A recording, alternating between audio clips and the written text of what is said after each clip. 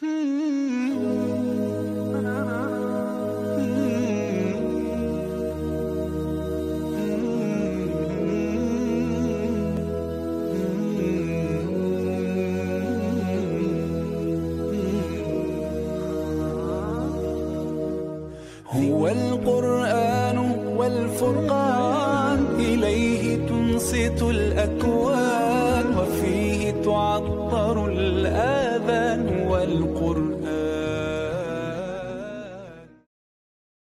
اعوذ باللہ من الشیطان الرجیم بسم اللہ الرحمن الرحیم تمام ناظرین کی خدمت میں قرآن پروگرام لے کر ہدایت ٹی وی چینل کے ذریعے سے، ہدایت چینل کے ذریعے سے آئے ہیں۔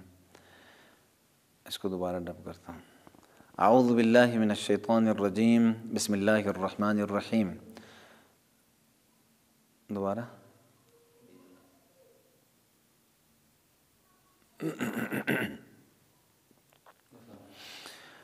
اعوذ باللہ من الشیطان الرجیم بسم اللہ الرحمن الرحیم تمام ناظرین کی خدمت میں السلام علیکم ورحمۃ اللہ وبرکاتہ.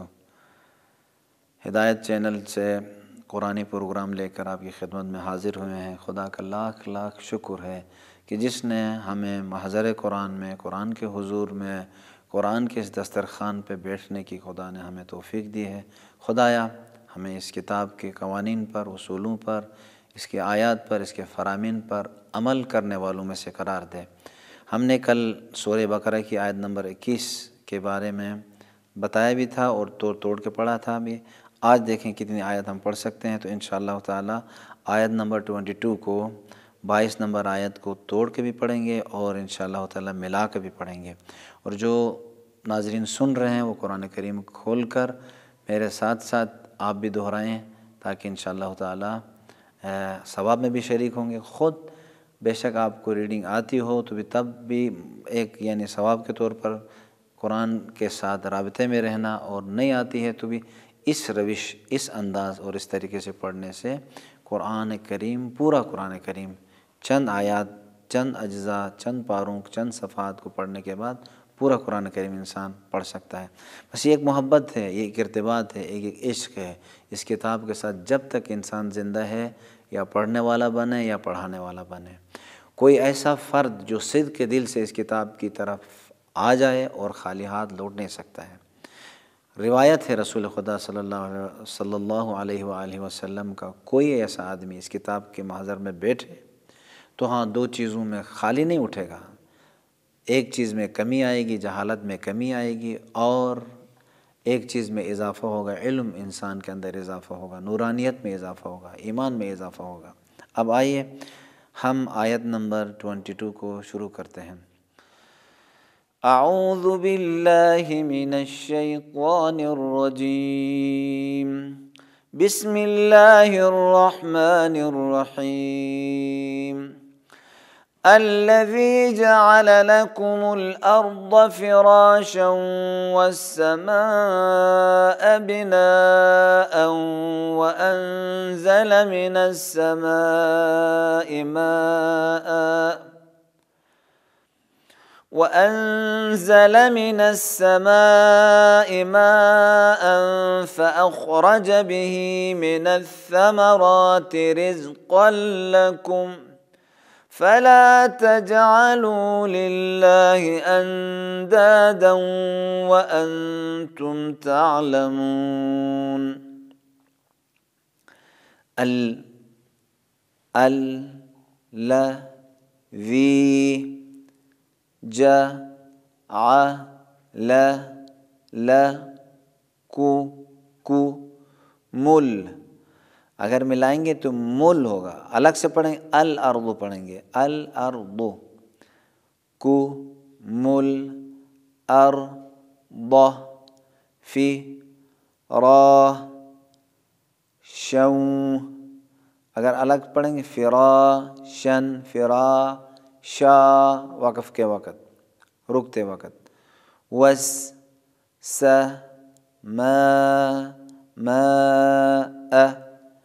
یہاں پہ اس مد کو مد واجب بھی کہتے ہیں اور مد متصل بھی کہتے ہیں۔ کیوں؟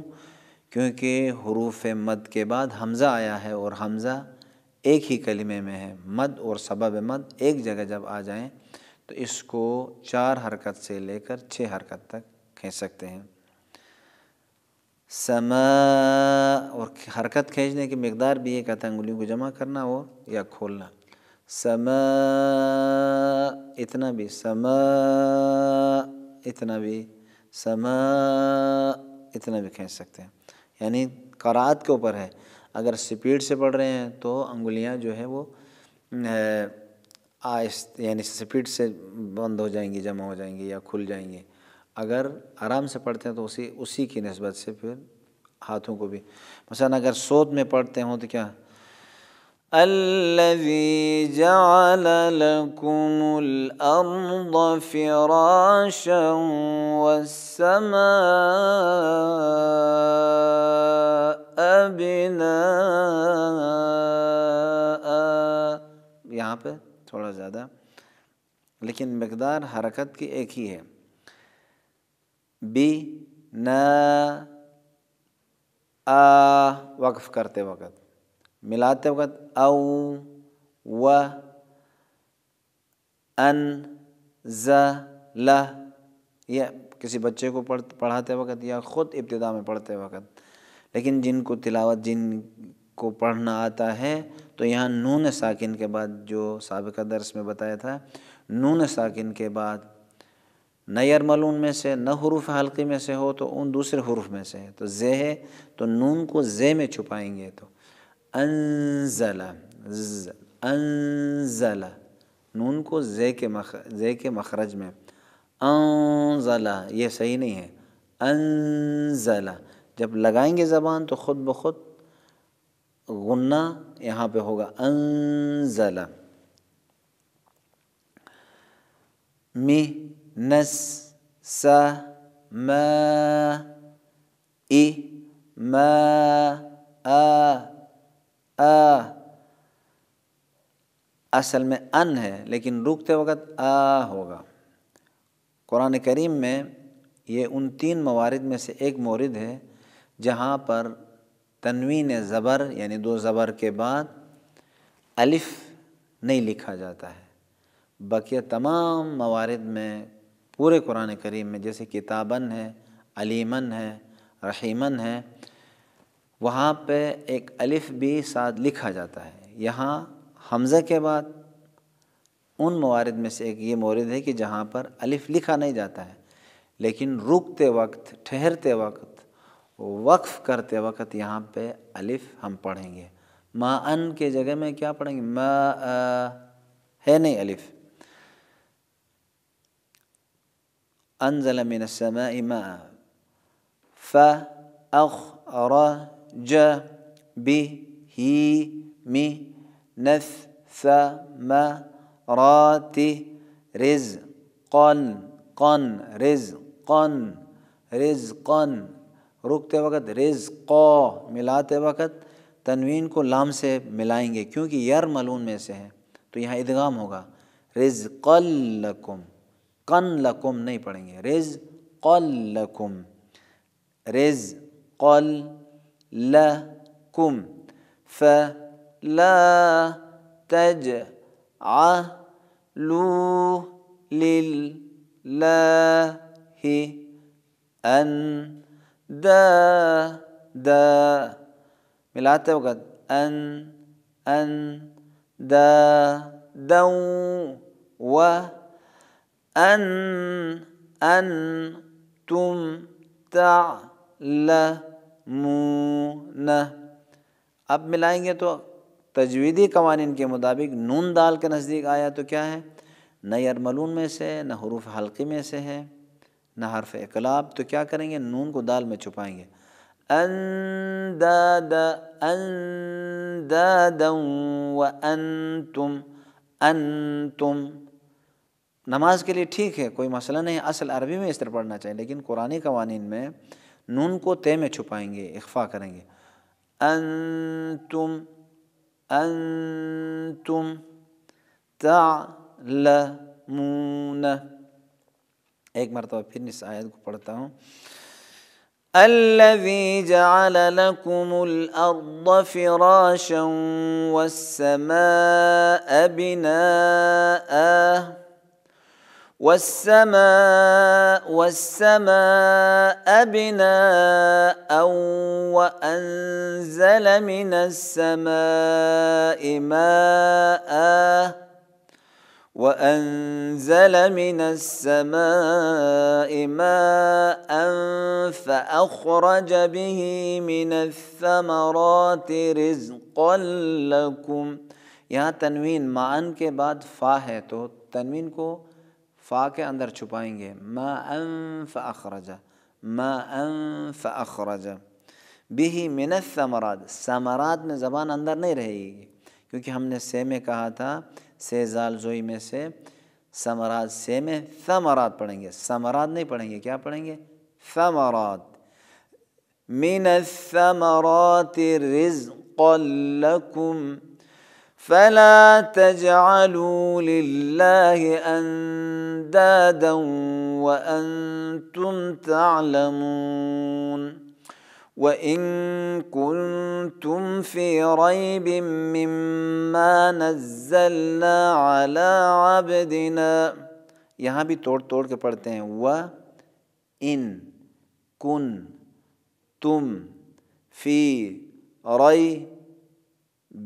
بن مم ما نزلنا۔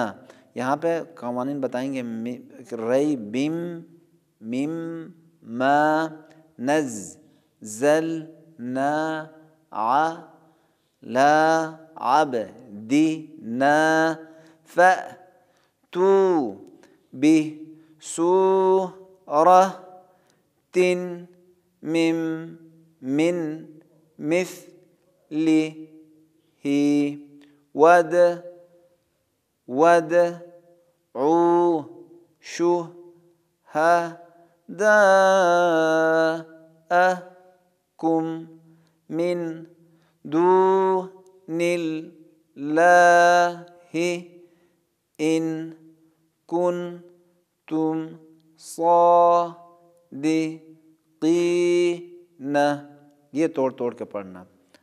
اب ملا کے پڑھیں گے۔ ملا کے پڑھتے وقت قوانین تھوڑے سے چینج ہوتے ہیں۔